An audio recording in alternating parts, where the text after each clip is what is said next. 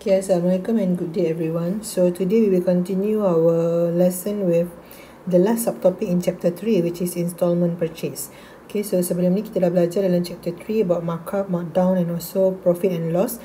Okay, so we have learned about uh, how to calculate markup, what is markup and markdown and how to determine whether we have gain profit or we lost. Okay, sama ada kita rugi ataupun untung. So hari ni kita nak tengok tentang installment purchase. So apa di installment purchase sebenarnya? So kalau uh, awak biasa dengar mungkin awak tak pernah uh, menggunakan ataupun melalui installment purchase, pembelian secara installment. Tetapi installment purchase ni adalah untuk pembelian yang melibatkan nilai yang tinggi. So selalunya macam contohnya orang beli kereta, rumah ataupun mungkin perabot ataupun mungkin barang-barang elektrik dekat uh, certain company kita boleh melakukan bayaran ansuran. Okay, so bayaran ansuran ni kita panggil dia sebagai installment purchase. Kerana uh, nilai yang kita kena bayar itu terlalu besar, so kita mungkin tak cukup uh, duit, tak ada duit untuk bayar. So we have another choice of payment that we call as installment purchase. Okay, so what is the installment purchase? So installment purchase ni adalah modes of payment for hire purchase. Hire purchase ni maksudnya hutang lah. Okay, uh, pembelian secara hutang. Contohnya untuk membeli kereta, cars, furniture, electrical items, machine and also uh, houses. Okay, sama ada kita nak beli kereta, perabot, barang-barang elektrik, uh, rumah. Okay, so melibatkan installment purchase, selalunya orang akan bayar secara ansuran, orang tak bayar secara total. Okay, so to make payment by installment, an amount of value down payment should be paid. So selalunya kalau kita nak buat pembelian secara ansuran, kita kena letak ataupun bayar certain amount sebagai down payment. Sebagai contoh eh. Kita nak beli kereta. So harga kereta tu katakanlah uh, RM uh, 152,000. 152,000 harga kereta katakan eh. Okay. So harga kereta ni kita panggil sebagai cash price. Apa maksud cash price? Maksudnya kalau awak nak bayar sekaligus atau dalam satu dalam satu pembayaran, awak akan bayar RM152,000 harga kereta tu. Okey, tak ada apa-apa harga tambahan, tak ada apa-apa uh, operating expenses, tak ada interest, tak ada apa-apa lain. So awak hanya akan bayar RM152,000 harga kereta yang kita panggil sebagai cash price. Maksudnya kalau awak beli secara cash, bayar terus, so kita hanya kena bayar RM152,000. Tapi kalau kita tak mampu untuk bayar RM152,000, we can make a payment as uh, by installment. Okay, bayaran secara ansuran tapi biasanya installment purchase ini akan meminta kita untuk membayar down payment. Okay, down payment ni maksudnya bayaran pendahuluan. So biasanya kalau kita beli kereta down payment dia minta 10% daripada harga. Contohlah okay, down payment adalah 10% daripada harga kereta. So 10% daripada uh, 152,000 adalah 1,520 eh, 15,200. Okay, so 10% daripada 152,000 ni adalah RM 15,200. So 10%. Maksudnya, bila awak nak ambil barang tu, awak nak ambil kereta tu, awak kena bayar dulu this amount. 152,000 sebagai bayaran sebagai bayaran pendahuluan yang kita panggil dia sebagai down down payment. Okay, so bila kita dah bayar down payment, kita ada balance. Kita panggil sebagai balance B So macam mana nak kira balance? Balance adalah cash price, harga barang okay, ditolak dengan harga down payment yang kita dah bayar. So harga barang kita adalah 15, uh, 152,000. Okay, so 152,000 ni tolak dengan down payment kita bayar 15,200. So awak ada lagi balance sama dengan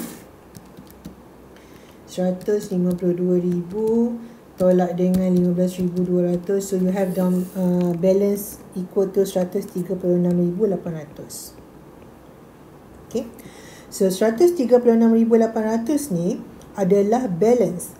The balance and the interest charge will be paid through a series of regular payment. Okay? So balance inilah yang awak akan bayar secara ansuran tapi disebabkan kita bayar secara ansuran, kita akan dikenakan operating expenses dan juga interest. Okay, so operating expenses dan juga interest ni biasanya diberi dalam bentuk percentage. Macam kita belajar sebelum ni lah. Okay, contohnya awak akan dikenakan uh, interest sebanyak 3% setahun. So, berapa lama awak nak bayar? 9 tahun. So, kita kena kira lah berapa interest yang dikenakan kepada kita. Okay, so balance plus interest, balance plus interest. So katakanlah saya kira interest eh. Saya kira interest um,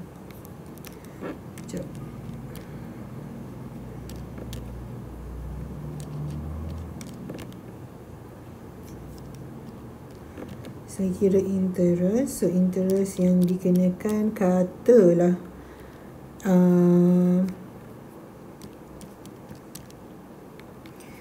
36,936 ringgit katakanlah interest yang dikenakan selama 9 tahun awak nak bayar selama 9 tahun okay, T kita 9 tahun katakan okay, interest yang dikenakan adalah 36,936 ringgit okay.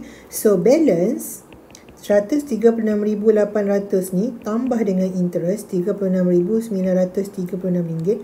So total yang awak kena bayar adalah 173,736 ringgit. Okay. So 173,736 ringgit ni adalah balance daripada harga selepas tolak dengan down payment ditambahkan dengan interest yang dikenakan ke atas awak selama 9 tahun. Okey. So ini jumlah yang awak kena bayar selama 9 tahun. So bila kita nak cari berapa kita kena bayar sebulan, kita kena bahagi 173,736 ringgit ni dengan bilangan bulan. So kalau 9 tahun bilangan bulan dia adalah 108. Okey. So bahagi dengan 108 Maksudnya awak kena bayar sebulan RM1,608.67 Yang ini kita panggil dia sebagai R Yang ini adalah N okay, Bilangan uh, installment ataupun bayaran secara periodik Kalau awak masih ingat dalam, dalam, dalam bab annuity Kita belajar N adalah bilangan bayaran yang kita buat Dan R adalah bayaran bulanan Okay, so the balance and the interest charge will be paid through a series of regular payments. So regular payment ini kita panggil sebagai annuity. Okay, sama ada monthly, biasanya monthly lah ataupun weekly. Weekly ni jarang. Okay, biasanya monthly. So, balance ditambah dengan interest. Interest ini akan cover operating expenses. Okay, bayaran-bayaran uh, untuk dia uruskan awak punya uh, urusan pembayaran secara bulanan ini ditambah dengan insurans bagai semua masuk dalam bahagian interest. Okay, so bila kita punya balance tambah dengan interest ini adalah jumlah yang kita kena bayar selama berapa tahun. Okay, depends. Okay, dan kita boleh kira berapa jumlah yang kita kena bayar sebulan. So, ini adalah R. Okay, so when buyers opts, when buyers pilih untuk installment basis, they are actually paying more than the cash price. Okay, itu adalah perkara biasa. Kalau kita pilih nak buat installment biasanya memang harga yang kita bayar tu lagi tinggi daripada harga kita bayar cash. Okey contohnya kereta tadi. Kalau kita beli cash 152,000 sahaja kita kena bayar tapi disebabkan kita buat installment berapa kita kena bayar yang ini kita kena bayar selepas interest 173,736 dan jangan lupa awak dah bayar 15,000 tadi sebagai down payment 15,200 awak dah bayar. So total dia 173,736 tambah dengan 15,200. Total yang awak bayar untuk beli kereta ni adalah 188,936 ringgit. Sedangkan kalau awak bayar secara cash atau beli secara cash, harga dia hanya 152,000. Itu adalah perkara biasa. Okay, bila kita buat installment purchase, okay, bayaran secara ansuran, memang jumlah dia akan mahal daripada harga kita beli secara cash. Dia macam win-win situation lah. Company bagi awak bayar ansur-ansur, so apa yang awak akan bagi kat dia in return adalah keuntungan daripada segi interest. Alright?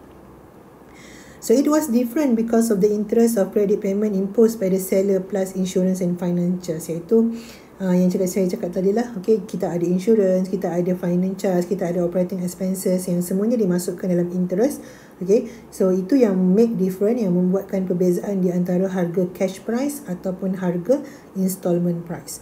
Alright, so apa dia cash price? A few term that is important here is cash price. Cash price is the harga original untuk sesuatu benda tu, barang tu, sama ada kereta ke rumah ke. So harga original dia kita panggil cash price. Di mana kalau kita nak bayar secara cash, kita akan bayar this amount. Okay dan kita ada down payment iaitu down payment adalah bayaran pendahuluan Okay, dan kita ada balance. What is balance? Balance adalah cash price tolak dengan berapa down payment yang awak kena bayar. So, kita ada balance. Okay.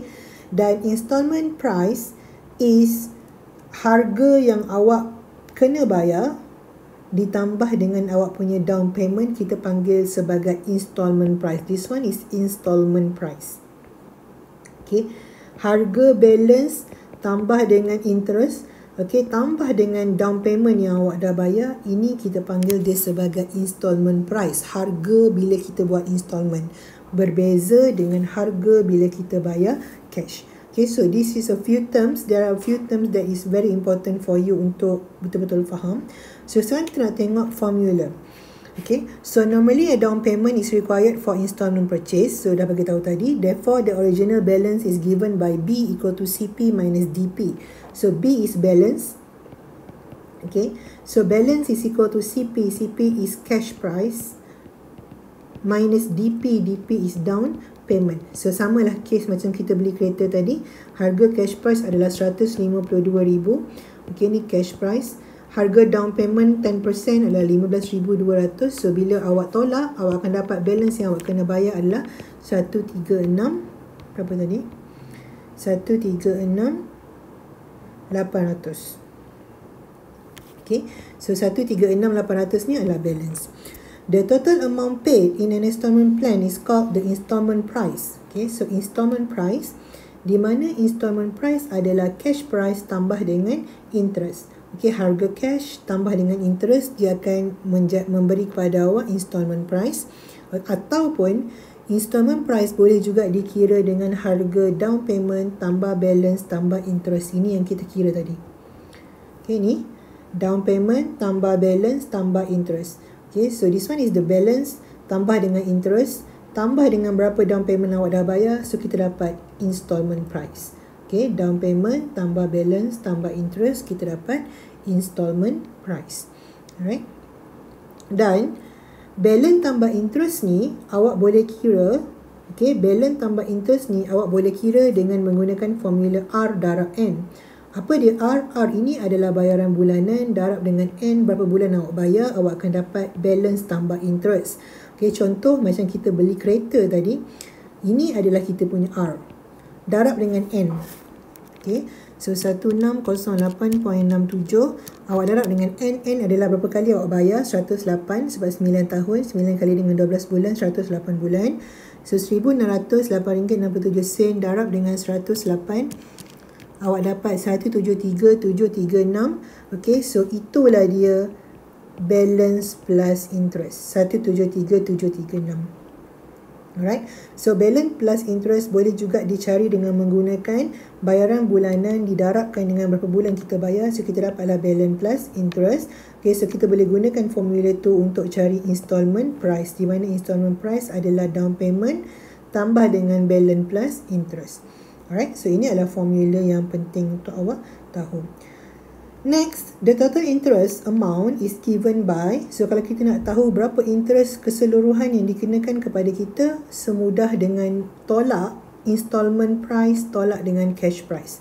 Okay, so tadi kita dah kira untuk kereta ni installment price adalah 188936. Installment price adalah 188936. Okay, cash price adalah 152000. So kalau awak nak dapat berapa total interest, just ambil the installment price 188936 tolak dengan 152000. Okay, so awak akan dapat 188936 tolak 152.